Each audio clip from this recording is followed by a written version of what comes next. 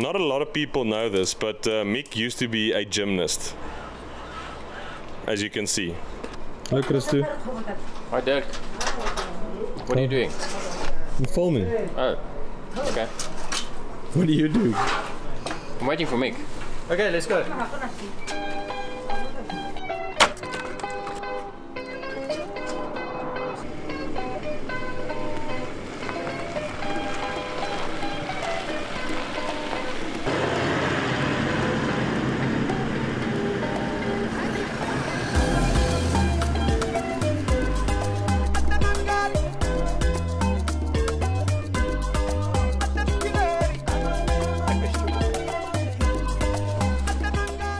My name is Will Jansen from Will of Africa Adventures. We do bespoke safaris focusing on photography. We also do launches for, for the Toyota brand and we very often also look at new environments, new places where we can actually create memories like we are memory smiths. So our journey started in Pretoria and we had to come through Lobatse border, Skilpadshek in South African side to Kang to overnight there because due to COVID regulations the border post is closed to Mabua Sehube was still closed, McCarthy's Rest. So we had to detour, detour through Kang and from Pretoria to was about 750 kilometers to, to Kang. Welcome to a new episode of the Iron Van Adventures. This one is a very special one. We're going to the Kalahari, but this time we're going into the Botswana side. We're going to Mabua Sehube, and I've only heard amazing things about that place. And something I'm really excited about is this new Swift tent from Ironman 4x4. It takes like two minutes, not even, to set up. So that's going to change my life completely. We're here in Botswana with Will of Africa Adventures, and a lot of uh, familiar faces will be on this episode and I'm looking forward to sharing some beautiful, beautiful pictures with you. So here we go. Tomorrow morning we hit the road. So good night. Good morning. It is a weird, misty, rainy morning in Botswana in winter. I haven't seen this before, but it's interesting. Goeiemôre maatjies. Goeiemôre maatjies. Môre, Dirk. Môre.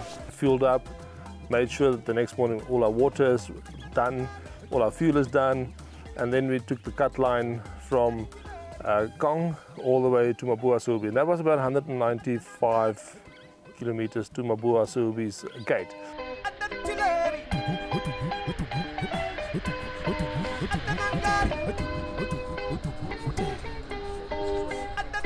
All right, good morning guys. Thanks for getting us to the tower, Egan.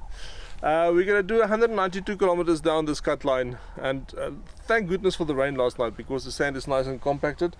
Um, so we came down to about 1.8 in, in tire pressure. Um, we're going to stop at Jack's Pan for, for uh, lunch.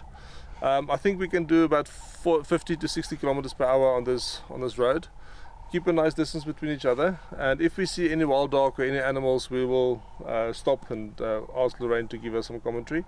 Um, and if you find anything else on the road just radio us and then um, we'll, we'll get together. Uh, just remember that um, I've got a, quite a heavy trailer there so I might be dragging a bit. I don't know what the road's looking like. Um, but if you've got any other challenges on your side just give us a radio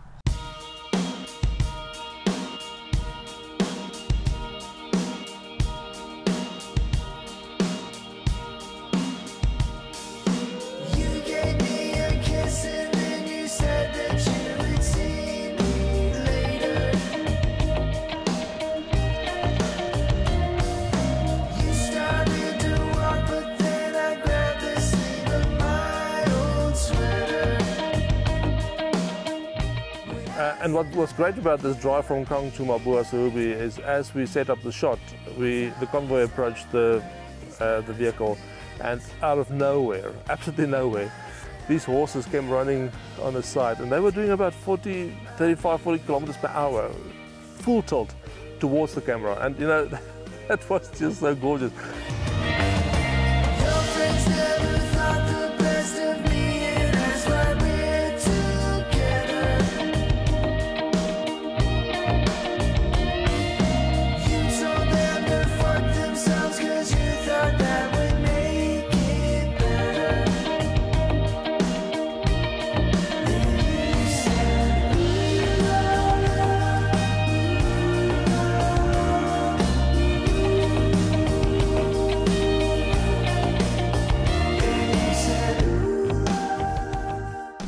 We've just arrived here at Jack's Pan um, on the edge of the Kgalagadi Transfrontier Park. I'm just going to stop for a bit of a lunch break. It was really interesting on the way in. We spotted some quite fresh lion tracks, which is always nice to see. Um, and what's also quite amazing about today is we've been surrounded by rain clouds and it, we've actually come through rain, which is quite extraordinary at this time of year. Um, and it just makes these places all the more special. Um, when I come to these places, it always makes me very humble because it just kind of contextualizes how small we are um, in the bigger scheme of things. So I've done a number of trips with Will of Africa. Um, and the reason behind coming on this trip was that Ironman was very keen to start incorporating um, a conservation and ecological element into their 4x4 trips. Uh, and so that's essentially my role on this trip is to perhaps interpret um, a lot of the stuff that we see. So we are having a spot of lunch over at Jack's Pan. Um, bread rolls, cheeses, cold meats, and a lovely uh, Tokara white wine. nice. Yeah.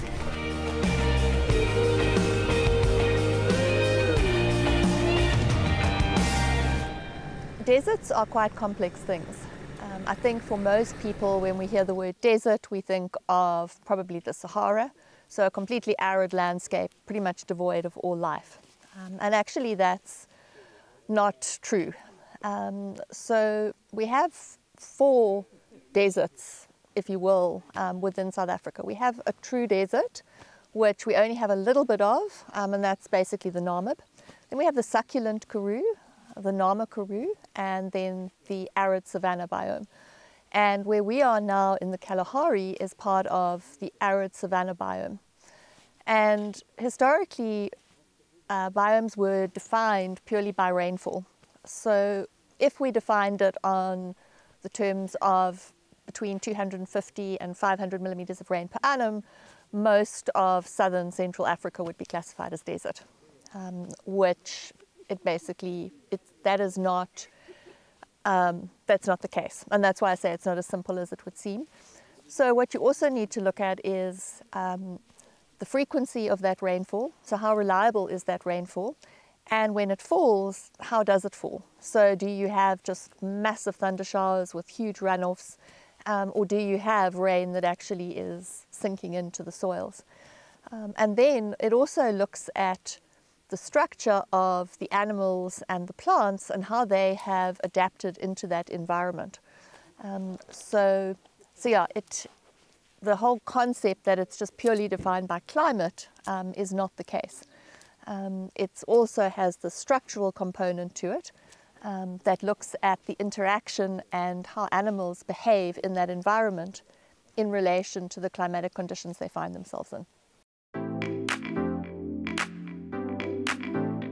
Soon enough, we had our very first sighting, a quick shot of an African wildcat.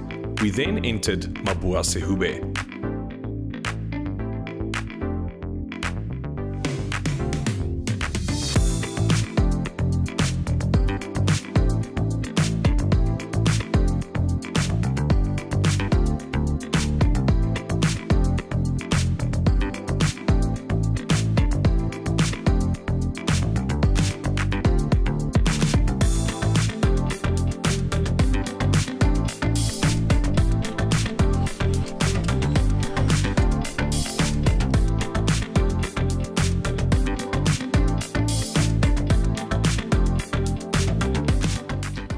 finally arrived after a long day of tough roads at Mabua Sehube.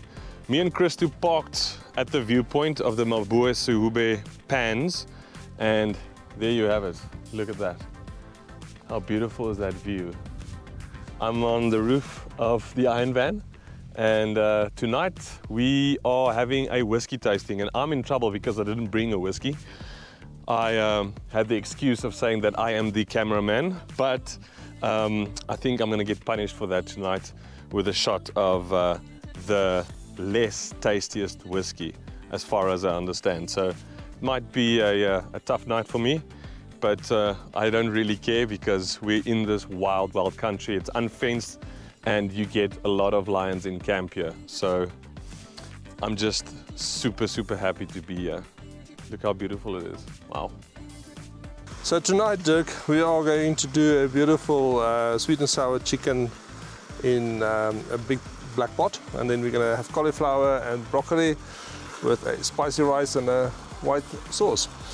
So the whole idea is to make on our travel days to make the food easy, quickly. You know, just arrive and takes about half, 45 minutes to an hour to do.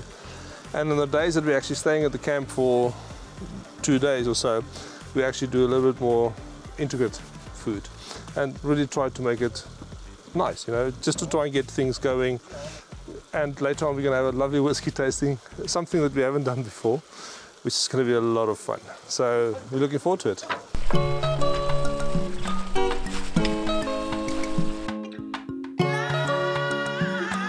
Okay, welcome to the uh, Ironman Will of Africa whiskey tasting, not a competition. we, have, we have seven different blended whiskeys tonight. Another night we have singles. You are only trying to figure out what you like as an individual, not as anybody else would like. And once it's a blind tasting, once you have decided what your number one, two, and three is, we will reveal what they actually are. Golfine, how are you feeling about this whiskey tasting thing? I think we must take it in our stride, quite slow, you know, Just little sips of each. Select the right one and then you tackle a lot with fiercely. Frick, I'm a bit intimidated. Seven, Seven serious, shots. seriously good single shot whiskies. It's going to be a challenge. luckily the cameraman doesn't have to taste. No, you have to taste. Chicken camera. The fact you didn't bring a bottle doesn't say anything. Cameraman is mistaken. Mick, Chereni. Jereni.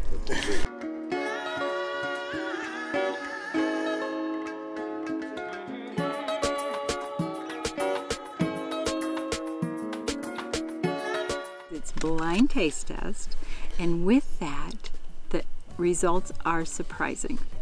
It's not um, influenced by names. There's been many surprises here as to what people have chosen, and that's the whole point.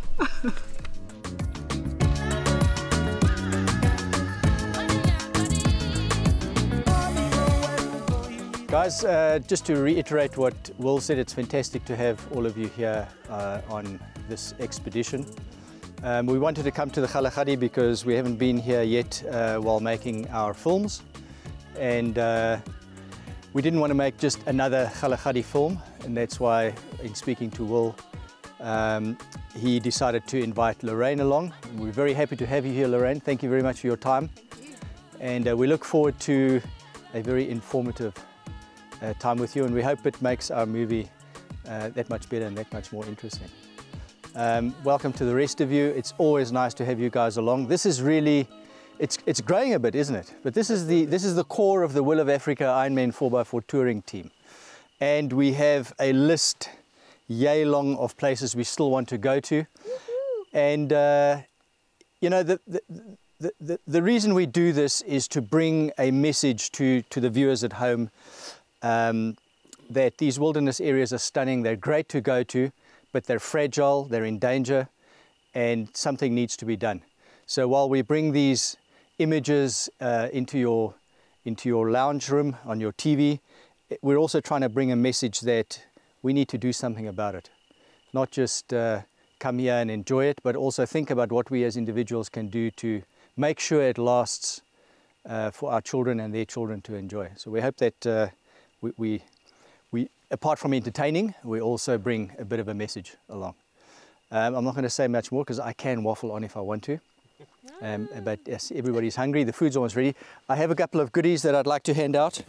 And this here, as according to me, this is the latest and greatest little Ironman goodie. It is phenomenal. I'll show you now. I'll show you. Just grab, just grab it. And I'll- it's phenomenal. I'll show you how it works.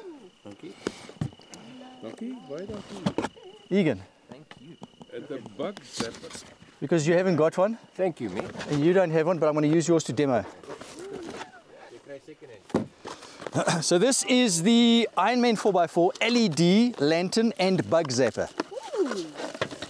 It charges via USB, so there's no need for batteries.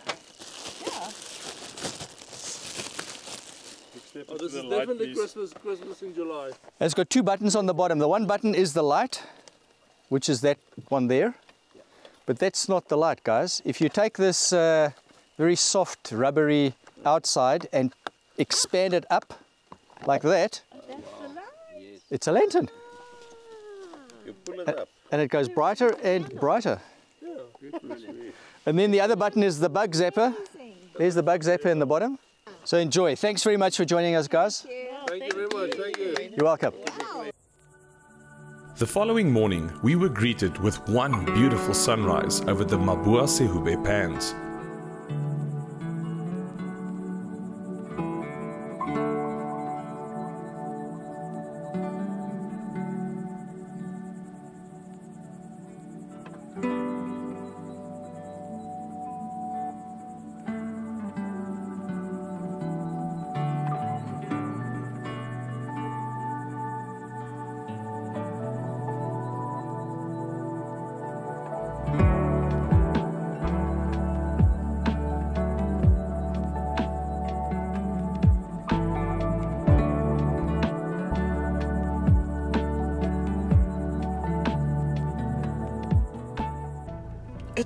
Another beautiful morning in the Kalahari Transfrontier Park, Mabua Sehube.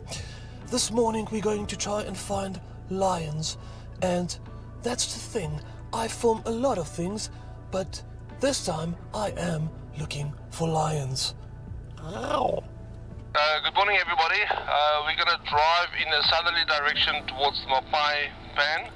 There's a man-made waterhole, and uh, we bumped into people yesterday, and they said the lions are hanging around on that pan. So we're going to do about a 10-kilometer drive south. And as we go, uh, Lorraine will also update us with some sightings that we see along the way. Uh, enjoy the drive. So after our first night at Mabua Sehube at Mabua Pan, we then went down to Mapaya Pan. And what a surprise. As we were driving down about five kilometers out, we got this beautiful young male walking towards us in the, in the road. Thank you.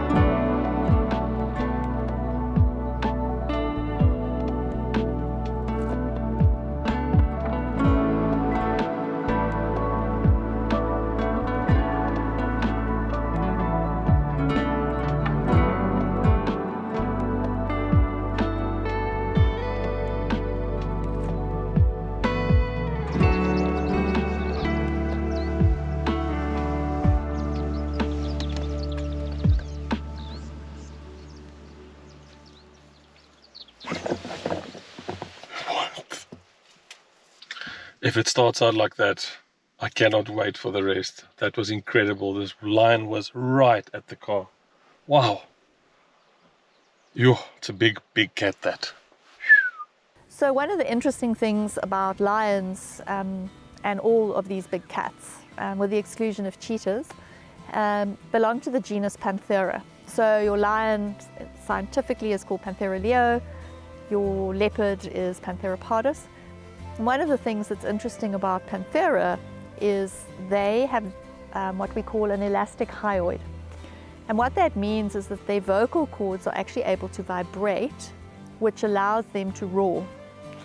Um, so your domestic cat um, belongs to a different genus, belongs to the genus Felis, um, and they can purr, but they cannot roar. And similarly, a lion and a leopard cannot purr, but they can rule.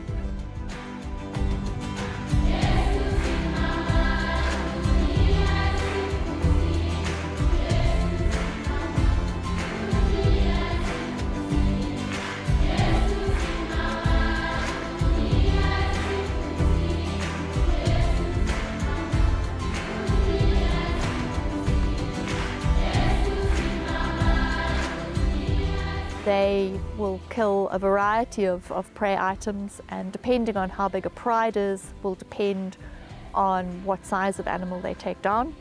Um, I think there's a misperception that male lions are completely lazy um, pretty useless hunters. It's actually not true. Um, the main job of any male lion or coalition of um, males, often brothers, is to patrol a territory.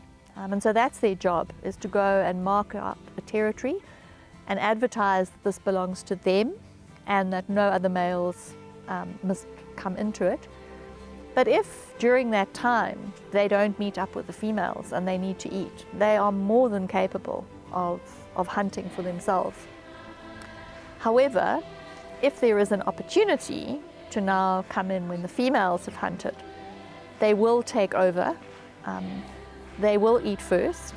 Um, the lionesses will eat second and the cubs will eat last. So, which is very different from something like wild dogs, where the pups will always eat first. Obviously, at Mapaya, we, we found the rest of the pride. There were two young males, two females, and four cubs. Uh, two cubs and two cubs from different ages. So that really set the feeling of being totally in the bush. And, and they were lying actually at Mapaya campsite too. And the people on the side were still backing up and the lions on that side. And, and it was actually quite interesting to, to watch the behavior because every time there's a clang in the campsite, a lion would pop up. Those are the lions, and that's the campsite. Crazy as that. So um, the lions that we've got in front of you, so this is part of um, a pride. So lions are the only truly social cats in the world. Um, most other cats, um, including your domestic cats, are solitary. Um, and we believe that the reason lions became social, it gives you a significant advantage, um, both in hunting potential, and then also if you have more than one male able to go and secure your territory, um, and that then in turn helps um, protect the females. So the males will spend most of their time actually not with the females. Um, they'll spend a great percentage of their time actually patrolling their territories. Um, and what we saw earlier was um, a male marking his territory. It's very likely he's part of this, um, the same pride um, because if he was not, um, these two males here wouldn't be lying here relaxing. Um, they'd be out trying to find out why he was in the space. Um, and males, or lions in general, um, are not very forgiving of other predators in their space. so anything that comes in that is perceived as a potential threat, they will kill. So most of the pride structure will consist of related females um, and their offspring. Um, and so that's what we're seeing here. There's any possibility that all of these cubs belong to one of these females, or that there's a split between um, the number of cubs and females. In the next episode, we explore Mabua Sehube a bit further. Thank you so much for watching. If you do like the videos, please like and subscribe. Till next time.